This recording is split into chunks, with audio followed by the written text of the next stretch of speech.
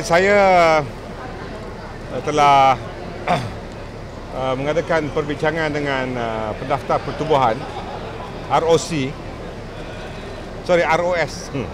Registrar of Society mengenai kedudukan MIC dan kita mengalu-alukan saranan oleh Presiden MIC Datuk Seri G. Palanival yang uh, berhasrat untuk mengadakan pemilihan semula di semua peringkat uh, daripada peringkat cawangan hingga ke peringkat uh, CWC pada bulan uh, Jun nanti.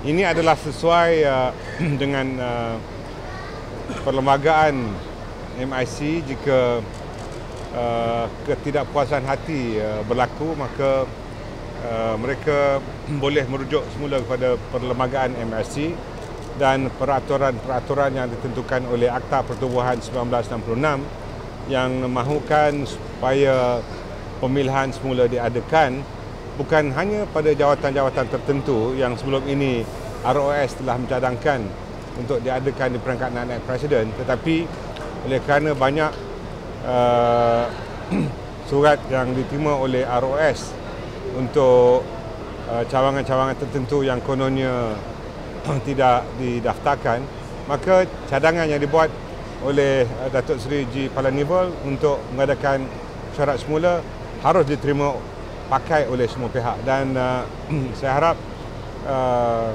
selepas ini MIC akan berada di dalam satu pasukan dan mengiktiraf uh, kemenangan pada mereka yang berkempen secara bersih. Tetapi sebelum itu saya harap di peringkat cawangan-cawangan mereka mengadakan kempen dan pemilihan mengikut peraturan-peraturan yang telah ditentukan dalam perlembagaan MIC sendiri.